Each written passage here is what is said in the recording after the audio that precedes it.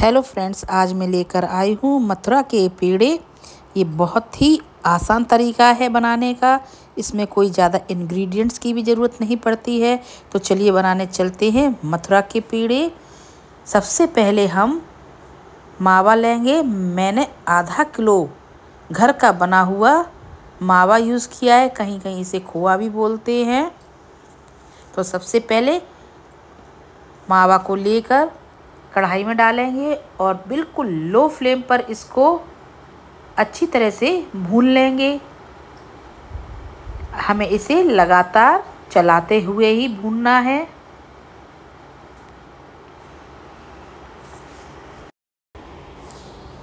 खोए को हमें लगातार तब तक भूनना है जब तक कि ये अपनी तली ना छोड़ दे। बस इसी कंसिस्टेंसी में हम दो से तीन मिनट खोए को और भूनेंगे गैस को ऑफ़ करेंगे।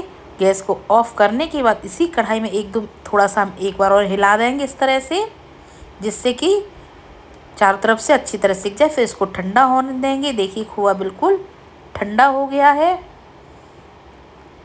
अब इसमें हम खांड मिला रहे हैं। कहीं कहीं इसे तगार भी बोलते हैं। इसी के साथ इसमें हम चौथाई चम्मच इलायची पाउडर मिलाएँगे। शुगर आप अपने स्वाद के अनुसार मिलाइए। इसमें मैंने चौथाई कप शुगर मिलाई थी, आधा किलो खोआ में। इन सभी को अच्छी तरह से हम मिक्स कर लेंगे। देखिए, इस तरह से हमें डो तैयार करना है खोए का।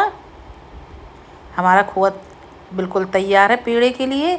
अब इसके छोटे छोटे खोए के पोर्शन तोड़ेंगे और इस तरह से हथेली की इसको राउंड राउंड करके इस तरह से इसकी शेप देंगे। शेप आप अपनी पसंद से दे सकते हैं। मैंने गोल दिया है। अब सूखी चीनी में, चीनी के बुरादे में इसको हम लपेट लेंगे।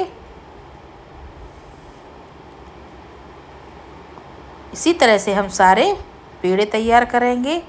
यदि आपको ये पेड़े की रेसिपी पसंद आए तो आप मेरे वीडियो के नीचे लाइक का बटन क्लिक करना ना भूलें। मेरे चैनल को सब्सक्राइब करें और अपने कमेंट्स करके बताएँ ये रेसिपी आपको कैसी लगी। एक नई रेसिपी के साथ आपसे फिर मुलाकात होगी। तब तक के देखते रहें। अविघ्न फ़ूड बुक बाय